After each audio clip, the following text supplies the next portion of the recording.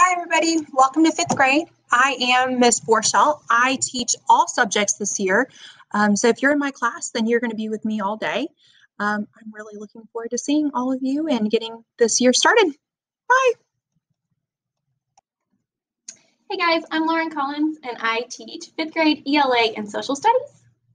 Hi, I'm Amanda Wilson. I teach math and um, science. And what's awesome is if you have one of us, then you have both of us because we will be switching classes when we come back to in person instruction.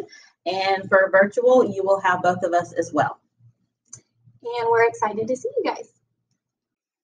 Hello, it's Mrs. Pinson. I'm so excited I get to join you in fifth grade this year. I'm going to be the digital teacher, so if you sign up for digital learning, you will be with me the whole year. See you soon.